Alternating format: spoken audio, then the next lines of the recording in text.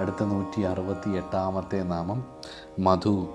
തേൻ പോലെ മധുരമായിരിക്കുന്നവനായിട്ടുള്ള നാരായണസ്വാമിക്കായിക്കൊണ്ട് നമസ്കാരം. ഭഗവാനെ സ്മരിച്ചാൽ ശാന്തി ലഭിക്കും. ശാന്തിയെക്കാട്ടിലും വലിയ മധുരം ഉണ്ടോ? ആൾക്കാർ ഓടി നടക്കുകയാണ് ശാന്തിക്ക് വേണ്ടിയിട്ട്. എവിടെ കിട്ടും എവിടെ കിട്ടും എന്നറിയാൻ. കാരണം മെഡിറ്റേഷൻ സെന്ററിന്റെ ഒക്കെ അഡ്വർടൈസ്മെന്റുകളിൽ എഴുതി വെച്ചേക്കുന്ന പ്രധാന പ്രലോഭനങ്ങളിലൊന്ന് പീസ് എന്നറിയും. ശാന്തിക്കായിട്ട് ജനം വലയുന്ന കാലം എന്തുണ്ടെങ്കിലും ശാന്തി ഇല്ലെങ്കിൽ പിന്നെന്താണ്?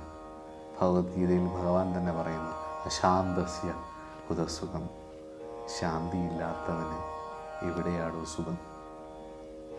അപ്പം തേൻ പോലെ മധുരമായിരിക്കുന്ന ശാന്തിയുടെ സ്വരൂപമായിട്ടിരിക്കുന്ന നാരായണ സ്വാമിക്കായിക്കൊണ്ട് നമസ്കാരം. അതേപോലെ തന്നെ മധുവിദ്യയാൽ മഹാവിഷ്ണുവിനെ പ്രാപിച്ചാൽ മധു പോലുള്ള ആനന്ദം അനുഭവിക്കാം. അമൃത് പോലുള്ള ആനന്ദം അനുഭവിക്കാം.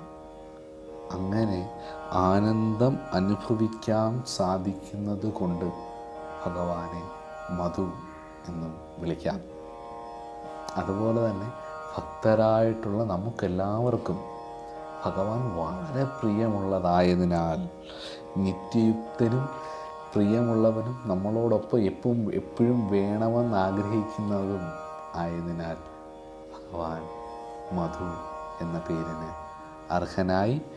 അപ്പം അങ്ങനെ പരമാത്മാവായിട്ടുള്ള ആ നാരായണസ്വാമിക്ക് ശാന്തി സ്വരൂപനായിട്ടുള്ള ആ നാരായണ സ്വാമിക്കായിക്കൊണ്ട് നമസ്കാരം.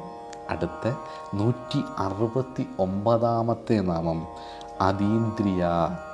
ഇന്ദ്രിയങ്ങളെ അതിക്രമിച്ചവൻ.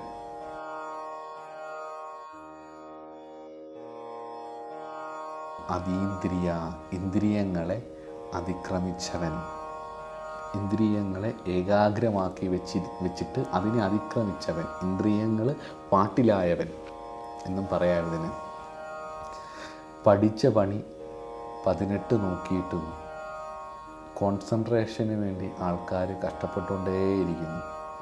പലപ്പോഴും ഈശ്വരനോടുള്ള ഭക്തി കൊണ്ടോ ഗുരുപരമ്പരകൾ പറഞ്ഞു തന്നിട്ടുള്ള കാര്യങ്ങൾ അവരുടെ ഇതായ തലത്തിലേക്ക് വളർന്നുകൊണ്ട് മനസ്സിലാക്കണം എന്നുള്ള ആഗ്രഹത്തിനുമല്ല പലരും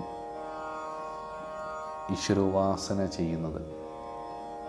അവർക്ക് അവരുടേതായ മേഖലകളിൽ കോൺസെൻട്രേഷൻ കിട്ടാൻ വേണ്ടിയിട്ടാണ്. ശരിക്കും അത് മോശവുമല്ല. പക്ഷേ നമ്മൾ എന്തൊക്കെ ചെയ്തിട്ടും അതാവുന്നില്ല. കണ്ണ് ഒരിടത്തേക്ക് വരുന്ന സമയത്ത് കാത് വേറൊരിടത്തോട്ടും കാതും കണ്ണിനെ ഒന്ന് നിയന്ത്രിച്ച് വെക്കാമെന്ന് നോക്കുമ്പോഴത്തേക്ക് മൂക്ക് വേറൊരിടത്തോട്ട് പോകും അപ്പോഴത്തേക്ക് ശ്രദ്ധ മാറും. അങ്ങനെ കണ്ണ് ശ്രദ്ധിക്കുന്ന സമയത്ത് ചെവി പോവും ചെവി ശ്രദ്ധിക്കേണ്ട സമയത്ത് മൂക്ക് പോവും. ഇങ്ങനെ പലതരത്തിൽ എല്ലാം അങ്ങോട്ടും ഇങ്ങോട്ടും പരസ്പരമായിട്ട് വിരുദ്ധങ്ങളായിട്ട് നിൽക്കുന്നു. എന്നിട്ട് നമ്മൾ പ്രഷർ ചെയ്ത് കോൺസെൻട്രേഷൻ ചെയ്യാൻ നോക്കുന്നു കുറച്ച് ദിവസം കുറച്ച് നേരമൊക്കെ ഇരിക്കും. പിന്നെ മനസ്സ് എവിടെയെങ്കിലും പോകും ഇതെല്ലാം മറന്നും പോകും കോൺസെൻട്രേഷൻ നല്ല ശരിക്കും അതീന്ദ്രിയാവസ്ഥ ഇന്ദ്രിയങ്ങളെ നിഗ്രഹിച്ച അവസ്ഥ. കണ്ണും മൂക്കും നാക്കും തൊക്കും ചെവിയും ഈ അഞ്ച് ഇന്ദ്രിയങ്ങളും ഏകമായ അഗ്രത്തിലേക്ക് ഏകമായ ഒരു പോയിന്റിലേക്ക് നമ്മൾ പ്രഷർ ചെയ്യാതെ വരണം. നമ്മളിപ്പം സാധന ചെയ്യുന്ന സമയത്ത് നമ്മൾ ഏതെങ്കിലും ഒരു പോയിന്റിലേക്ക് ധ്യാനിക്കുന്നത് നമ്മളൊരു പ്രഷർ കൊടുത്തിട്ടാണ്. നമ്മളൊരു കമാൻഡ് കൊടുത്തിട്ടാണ്. അല്ലേ? അപ്പോൾ അതല്ലാതെ കണ്ണ് മൂക്ക് നാക്ക് തൊക്ക് ചെവി എന്നീ അഞ്ച് ഇന്ദ്രിയങ്ങൾ ഏകമായ ഒരു പോയിന്റിലേക്ക് നമ്മൾ അറിയാതെ വരണം. ഭഗവാനെ നമ്മൾ സ്മരിക്കുന്ന സമയത്ത് ഈ അഞ്ച് ഇന്ദ്രിയങ്ങൾ ഒരേപോലെ തന്നെ വരണം. അത് എളുപ്പമല്ല. പറയുന്ന കേൾക്കുമ്പോൾ തോന്നും എളുപ്പമാണെന്നല്ല അത് കുറച്ച് സമയമെടുക്കും. അത് നിരന്തരമായിട്ടുള്ള പരിശീലനം കൊണ്ട് അഭ്യാസം കൊണ്ട്. ഭഗവാൻ തന്നെ ഗീതയിൽ പറയുന്നുണ്ട് അഭ്യാസം കൊണ്ട് വളരണം. നിരന്തരമായിട്ടുള്ള പരിശീലനം കൊണ്ട് കൃത്യമായ മെതേഡിലൂടെ നിരന്തരമായിട്ടുള്ള പരിശീലനം കൊണ്ട് മുന്നോട്ട് പോകുന്ന സമയത്ത് നമ്മൾ അറിയാതെ നമ്മുടെ ഇന്ദ്രിയങ്ങൾ ഏകമായ അവസ്ഥയിലേക്ക് വരും. ആ സമയത്ത് നമ്മൾ അതീന്ദ്രിയനായി മാറും. ശ്രമിച്ചു നോക്കും ഉറപ്പായിട്ടും വരും.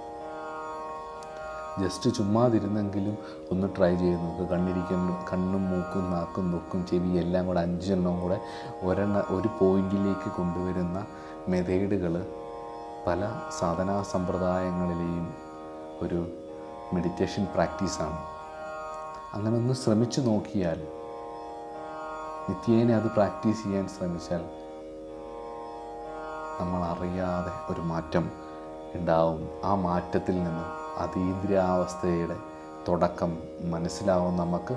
അങ്ങനെ നിത്യേനെ അത് പ്രാക്ടീസ് ചെയ്താൽ കുറച്ച് കാലം കഴിയുമ്പം ഇന്ദ്രിയങ്ങളെ അതിക്രമിച്ച അവസ്ഥയിലേക്ക് നമുക്കെത്താൻ സാധിക്കും.